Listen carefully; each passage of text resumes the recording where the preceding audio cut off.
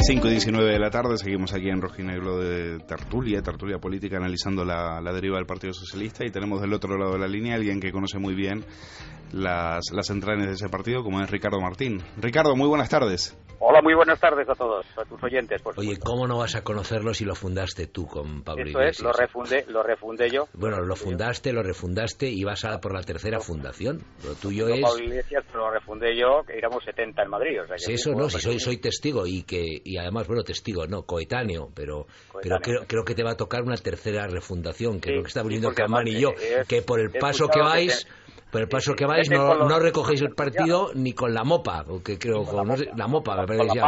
No, Con no, pala, con la la pala. mopa, va a mojar. Ricardo, ¿quién les iba a decir que iban a temer a un Pablo Iglesias, no? Sí, sí.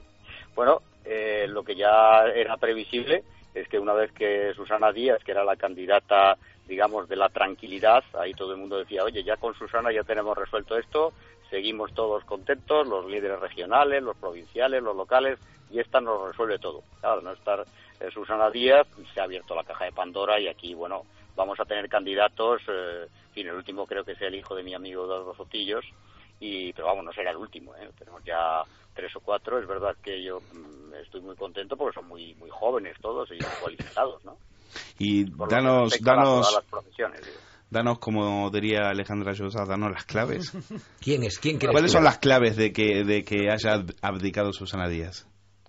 Bueno, yo creo que ella eh, ha visto que no había una, una unanimidad, que es lo que buscaba, unanimidad, que iba a tener enfrente a un candidato sí o sí, que era Eduardo Madina.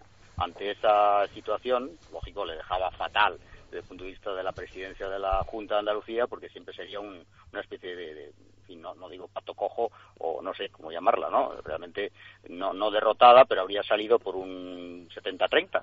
60-40, pero eso es muy malo para un presidente, ¿no?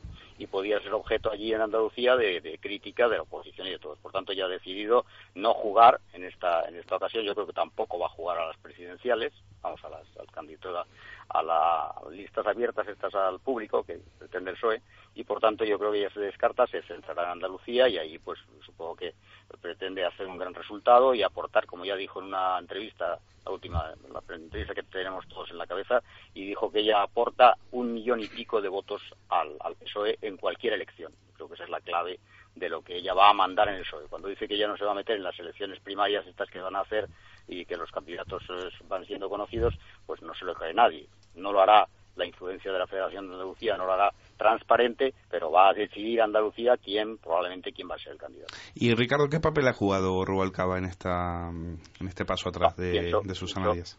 pienso que realmente ninguno. O sea, Rubalcaba ha dejado de, de estar eh, en la pomada en el, en el minuto uno cuando ya han retirado la... bueno, se- habrá sido consultado, pero todo el, el, eh, proceso que hemos vivido pues ha estado muy ah, muy anárquico, total, como se ha visto, y ha escapado de las manos de Rubalcaba y de todos. Por tanto, no ha habido, digamos, una cabeza que haya llevado la- eh, las riendas de esta situación, sino más bien una, una huida eh, de toda la dirección y, y decir, a ver, a ver por dónde sale el sol, ¿no? Entonces, yo creo que en este momento ya está, entre comillas, fuera de control mm, y, por tanto, eh, puede pasar un poco, pues puede pasar cualquier cosa, excepto que la Federación de Andalucía va a seguir teniendo un papel predominante. Entonces, yo creo que quien de alguna manera quiera la Federación de Andalucía, Susana, por tanto, Susana Díaz, pues va a ser el candidato que tiene más probabilidades de salir. Aunque en el PSOE cualquier cosa puede pasar. Ricardo, hablando precisamente de esas posibilidades, dinos el retrato robot, otra cosa es que se ajuste o no a un candidato de los que están emergiendo ahora, el retrato robot de la persona idónea para, en este momento tan delicado y tan crítico, aunar voluntades y conseguido para el Partido Socialista. ¿Cómo tendría que ser ese retrato robot? ¿Qué Lo elementos? Tengo, lo tengo meridianamente claro. Eh, tiene que ser un candidato eh, que parezca de izquierdas y que finalmente sea capaz de llevar al Partido Socialista a hacer una política conservadora dentro del ámbito socialdemócrata, naturalmente, o llevarle al centro. Pero ahora mismo el Partido Socialista, que está convulso totalmente, con agrupaciones que están haciendo asambleas eh, espontáneas a favor de la República, esto está pasando en el PSOE a día de hoy, a minuto de hoy, es muy difícil que ningún candidato que se presente como moderado tenga nada que hacer en estos momentos en el Partido Socialista.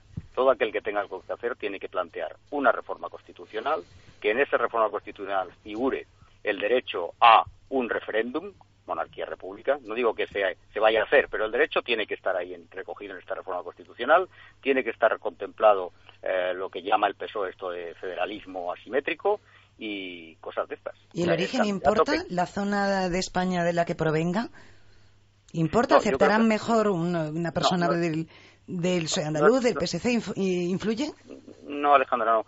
En estos momentos el, Partido Socialista tiene una, un comportamiento muy similar, muy semejante en, en, todas sus bases, sus agrupaciones, y los debates están siendo muy parecidos independientemente de la zona de España. Quizá en Andalucía menos, porque Andalucía eh, ese particularismo del nacionalismo andaluz que llamo yo, que es el PSOE. Entonces es un partido nacionalista andaluz. Entonces ahí el debate probablemente pues es otro. Pero en el resto de España el debate está siendo monarquía-república, el debate está siendo eh, digamos, por qué Podemos gana y nosotros no, eh, nosotros somos de derechas, queremos ser de izquierdas, todo ese debate está en, las bases del Partido Socialista. Por tanto, es, obvio que el candidato, al margen de donde provenga, Madrid, eh, yo qué sé, Coruña, da igual, tiene que tener las señas de identidad de un lenguaje de izquierda muy claro, un lenguaje que incluya los temas que yo he dicho. Ricardo, soy Emilio Campani, buenas tardes. Ah, encantado. Eh, quería mm, preguntarte eh, si, mm, porque por lo que yo he visto a la contestación que le has dado eh, sobre quién era el, cuál era el perfil del candidato, que tenía que parecer de izquierdas, pero llevar el PSOE al centro, que tú estás convencido de que sin ese viaje al centro el PSOE está perdido. Quiero, quiero confirmar eso. Absolutamente, absolutamente. El, PSOE estará muerto si no hace un, eh, digamos, si no, se, si no toma una posición central en la política española, absolutamente muerto. Es que no, no tengo ninguna duda, porque además la referencia que podemos adoptar es precisamente aquella de la transición, en la cual todas las bases del PSOE éramos de superizquierdas y naturalmente cuando llegó el momento hicimos OTAN de entrada no, OTAN sí, em, eh, en fin, eh, bajamos las cabezas normalmente cuando pasaba bandera española, como no puede ser de otra manera, porque es la bandera constitucional. don Felipe González se fue a la división acorazada número uno, una de las golpistas eh, más notables que habíamos vivido en España el 23 y ahí estaba Felipe González. Quiero decir, el PSOE es un partido de centro, sus orígenes, además, la refundación del PSOE, hablamos de un Miguel Boyer, hablamos de un Carlos Solchaga, hablamos de un Javier Solana, de Luis Solana, está basado el PSOE, en, digamos, en una, en una burguesía eh, ilustrada y incluso podríamos decir de clase media alta. Por tanto, al PSOE, eh, digamos, su espacio natural será eh, un espacio de centro. Lo que pasa es que en estos momentos hay una sublevación en bases, una sublevación en mucha parte del electorado español, y eso tiene que ir buscando esa identidad de izquierda, no ser... Perdona que, perdona que nos tenemos que ir a la desconexión. Te, agradecemos mucho que hayas atendido a Rojo y Negro. Te pasa como el PSOE, lo que el viento se llevó. Un abrazo.